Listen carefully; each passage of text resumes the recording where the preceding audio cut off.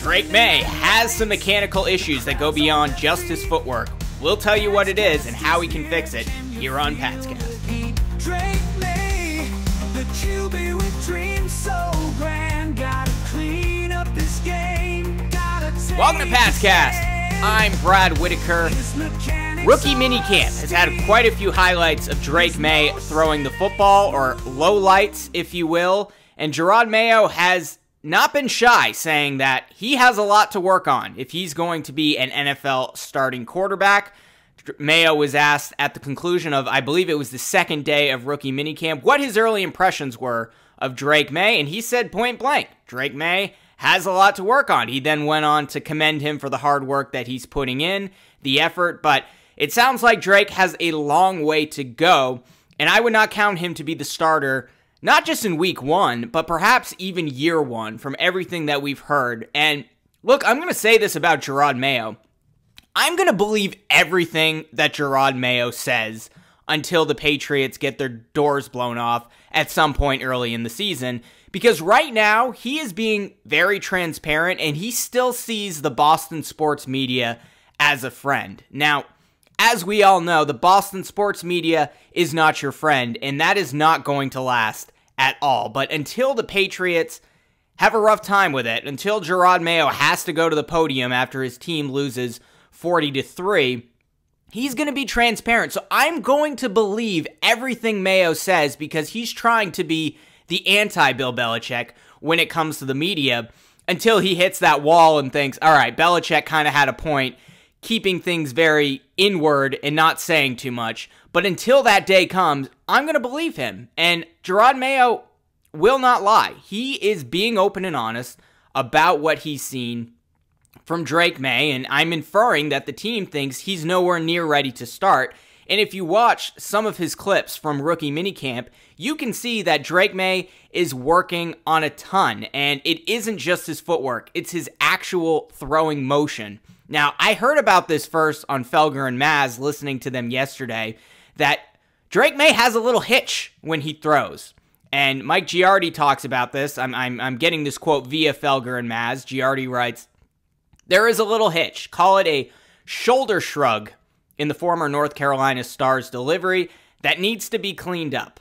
On several occasions, it appeared as if the 21 year old was intentionally taking some velocity off his throws, cautious even, in a way that didn't look like anything I noticed on his college tape.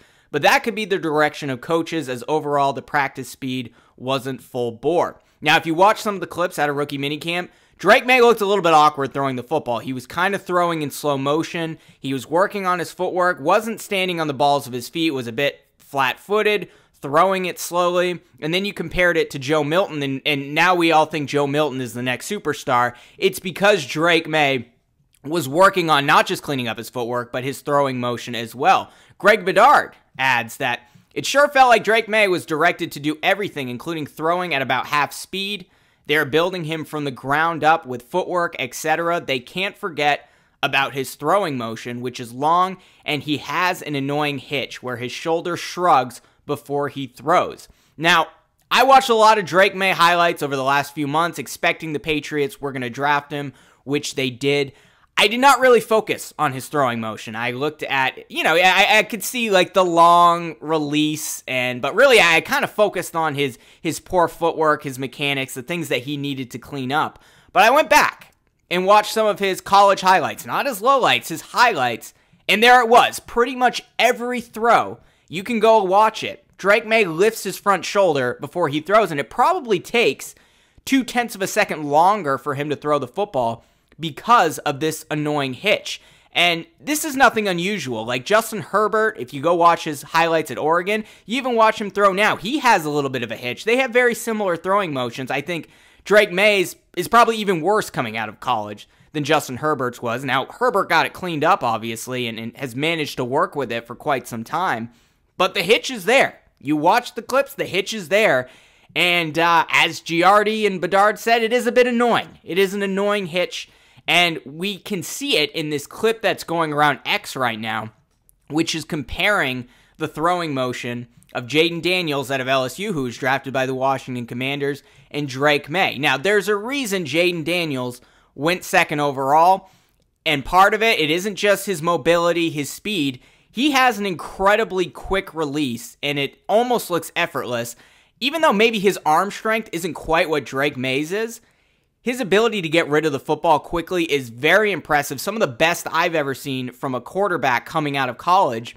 And there's a side by side comparison of Jayden Daniels throwing the football at rookie minicamp and Drake Maye throwing the football. And it takes Maye literally twice as long for him to throw the ball than it does Jayden Daniels. Now, the reason Drake Maye was a valuable prospect, the reason he was drafted third overall, is because he has other traits, right? Like big frame, big body, good arm strength, a lot of athleticism, the ability to plow through linebackers, the ability to run quarterback sneaks. There's a lot of Josh Allen in there, in addition to Justin Herbert. There's a reason Drake Maye went high as well. But in terms of mechanic, me- mechanics, footwork, throwing motion, he's nowhere near ready compared to Jayden Daniels, compared to even Caleb Williams, compared to even JJ McCarthy. And look, there was a reason I was very high on JJ McCarthy for the weeks heading into the draft because I think we're overcorrecting a little bit, right?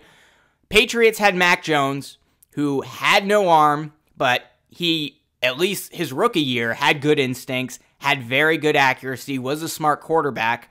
But because of the so called noodle arm that Mac Jones had, now the Patriots are overcorrecting the other way, and they're getting the anti Mac Jones. They got a quarterback with a strong arm who may not have the best instincts, but he's mobile, he's athletic, he has size, but he's not the most accurate.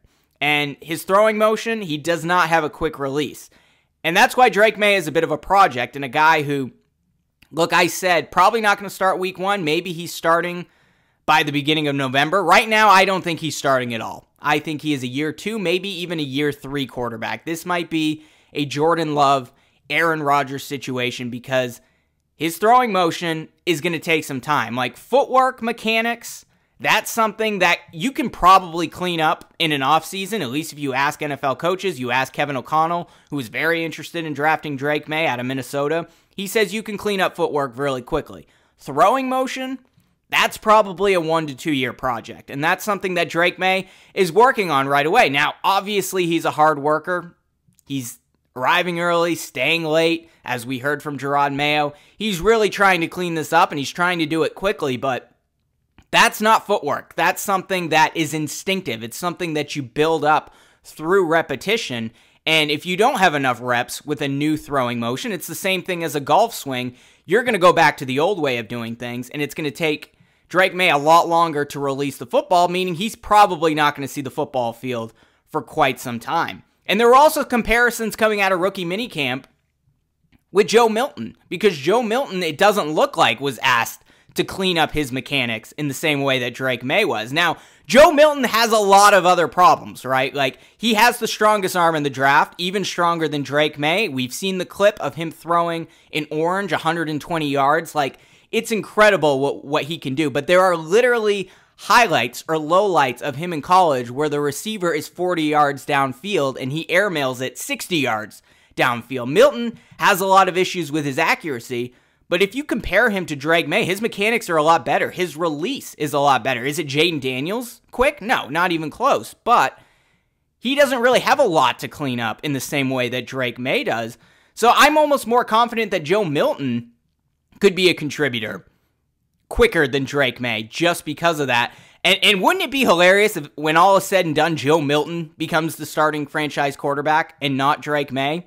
You know, it would be a Brock Purdy situation relative to Trey Lance, quarterback taken late in the draft versus the guy that you think is the future franchise piece. I'm not saying it's going to happen. I don't think that's what's going to happen, but Joe Milton really just needs to clean up his decision making, his accuracy. He's got to learn the playbook and learn to go through the progression like everybody else, but very similar to Drake Maye in terms of his athleticism, his arm strength, better arm than Drake Maye. I don't think he's out there trying to clean up his mechanics in the same way that they've assigned Drake Maye to do the same thing. And that's why when you look at these clips from rookie minicamp, Joe Milton is throwing the ball a lot farther, a lot harder, a lot quicker, and Drake Maye is kind of going through the motions, doing it at half pace, working on his footwork, a bit flat footed, working on his release, trying to get rid of that hitch. And look, we've seen this with other quarterbacks. In fact, Tom Brady had a bit of a hitch for like the first two thirds of his career. Now, it worked out just fine for him. Like, it wasn't the same sort of issue that Drake Maye's having, but you watch Brady, he was rotating his shoulders a little too much for the majority of his NFL career. And I think it was Tom House, uh, the throwing coach who works with baseball and football players, that actually cleaned it up. And you watch Brady the last six or seven years of his NFL career was much quicker at releasing the football, didn't rotate his shoulders quite as much. Again, not the same issue that Drake Maye had. Tom Brady obviously still had a very quick release relative to most quarterbacks. That's what part of what made Tom Brady so great. But even he had a lot to work on, and Tom House helped clean it up. So I hope Tom House is working with Drake Maye. Let me let me see. How do we get a hold of Tom House? Uh, let's see. Tom House throwing. All right. So Tom House has a program called National Pitching with Tom House Sports Inc. I believe it is. And if you go to his website, there is a contact form. So, Pats Cast fans, we should all fill this out, right? And and and don't spam him, okay? Don't spam Tom House. We need to be smart about this, right? We need to be respectful. We need to be polite. Dear Tom House or or dear Mr. House, I live in the South, so Mr. House, sir, make sure you're being polite. Please work with Drake Maye. He needs your help. I'm sure the Krafts will pay for it. If not, maybe we'll start a crowdfunding campaign. I don't know. But Tom House has worked wonders for even Tom Brady. I believe he's worked with Drew Brees before, worked with a lot of baseball players. This pitching academy, this national pitching thing that he has, is focused specifically on baseball, but clearly he has plenty of experience working with the best quarterbacks. So I would encourage you to go to the contact form here and hit up Tom House and just say, look, Go watch Drake Maye. What is this hitch issue? We we need this cleaned up. Go contact the Krafts. I'm sure you have their number. Or call Brady and, and have him give you Kraft's number. And let's get you in there and working with Drake Maye because that might speed up this process from a one to two year fix to maybe just an offseason fix. Drake Maye obviously is working with Alex Van Pelt, Ben McAdoo, some of these other guys, the, the new quarterbacks coach, uh, I believe TC McCartney's his name in New England, but he needs a Tom House in there. He needs a specialist, a guy who's going to be able to fix this right away. Hopefully it works out. But like I said, this, don't have your expectations too high on Drake Maye. I think Jacoby Brissett is a pretty good quarterback, especially the more that I watch of him in recent years. I'm going off of what I saw from Brissett early in his career when he was seen as more of a runner than a thrower. He's a good pocket passer now. He's really cleaned up a lot. Like I think they're going to be fine with Jacoby Brissett however long he's out there. And they're not going to win the Super Bowl, right? But I don't see Drake Maye leapfrogging him if this is all the stuff that he has to clean up. This may be a Jordan Love, Aaron Rodgers situation. And go back and watch Aaron Rodgers. I mentioned this many times on the podcast, so sorry if I'm repeating myself, but go watch Aaron Rodgers college highlights. He looks like Keith Foulke throwing the football. He looks like a catcher in baseball throwing the football. He's he's holding the ball by his ear, has his elbow out and throwing it. And somehow Aaron Rodgers completely changed his throwing motion by the time he replaced Brett Favre in Green Bay. And I wouldn't say Aaron Rodgers has a conventional throwing motion. It, it's kind of different, but it's very smooth. He has a quick release, and it's something that he built up with the reps over time. I wonder if he worked with Tom House. Perhaps he did. But that's something that takes time. There's a reason Aaron Rodgers sat on the bench for all those years. There's a reason Jordan Love sat behind Aaron Rodgers on the bench for all those years. And I think as of right now, unless you get Tom House in there, unless Drake Maye is staying late every night and working on this and putting in the reps and changing his throwing motion and can adjust quickly, this might be a similar situation to Green Bay. And who's the de facto general manager or VP of player personnel, whatever his title is now? It's Eliot Wolf, the son of Ron Wolf. Ron Wolf was a famous general manager in Green Bay, brought in Brett Favre. Eliot Wolf spent some time in Green Bay along with other organizations, including Cleveland. I think Eliot Wolf is looking at Drake Maye as a similar project to Aaron Rodgers and Jordan Love, and it makes some sense. Drake Maye is a project, unfortunately, and I didn't really see much of this hitch issue until I really watched the clips and focused on it, but it is there and it is a problem. And a lot of quarterbacks coming into the league, a lot of baseball players, particular particularly pitchers, have this issue where there's a hitch and they throw strikes when the hitch goes away and they throw balls and get a lot of walks when it comes back. That's the thing. Drake Maye could fix it. He could show in practice that he has fixed this issue, but then he goes out in a game and he starts getting back into bad habits, old habits, and suddenly he's back on the bench again. You do not want to rush him. And it's funny because Joe Milton seems more ready because his mechanics are a lot better than Drake Maye's are, even if Joe Milton has a ton of other issues, probably less accurate than Drake Maye, even though neither are very accurate quarterbacks. But again, this is why I like JJ McCarthy because I, I and, and look, we're not going back. We're not going to do too much JJ McCarthy talk. He's in Minnesota. He's in a very good situation, but I didn't want to overcorrect for Mac Jones. I wanted to find a happy medium between the throw the football over the mountains quarterback who has accuracy and mechanical issues and the accurate slow motion slow, bad arm quarterback of Mac Jones. I wanted to find a happy medium there, and I thought JJ McCarthy was that guy because his mechanics are pretty good. He's accurate. He has a good arm, even though it's not Drake Maye or Joe Milton's arm. He's more ready to step into an NFL role on week one. But hey, look, the Patriots won four games last year. They're not winning the Super Bowl this next season. They're in a full on rebuild. Drake Maye's may not see the field all season long. So, with that in mind, maybe it was worth drafting Drake Maye because you think you can clean this up. But as Jerod Mayo said, he has a lot to work on, and the Patriots are making sure when he's out there at practice, at rookie minicamp, at OTAs next week, that he's focusing not on his old self just delivering the football. He's focusing on the little things, things he hasn't done before, getting rid of that hitch, having NFL quality footwork, and it's going to take some time. But that's the situation we're in right now. Pats cast, go contact Tom House. Let's get him in there working with Drake Maye. We can get him out in the field a lot quicker and get our star quarterback. Because that's the thing. If Drake Maye fixes these things, he could be one of the best quarterbacks in the NFL three, four seasons down the road. I, I really mean that. That's why he he was drafted at third overall because he has all the traits. There's no throw he cannot make. There's nothing he hasn't done before.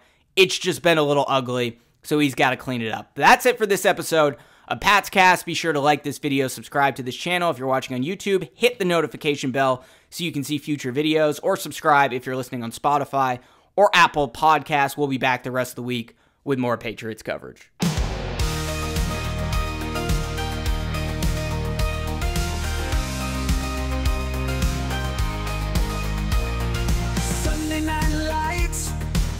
Crowd's on their feet. Cast is here, can you feel the heat? Drake Maye, the QB with dreams so grand. Gotta clean up this game, gotta take a stand.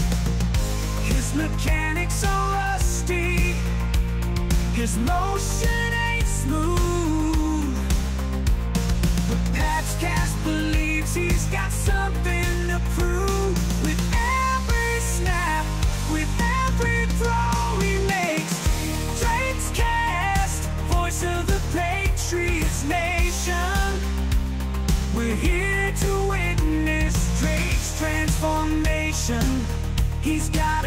hitch in It's time to let it go. Gotta trust he is on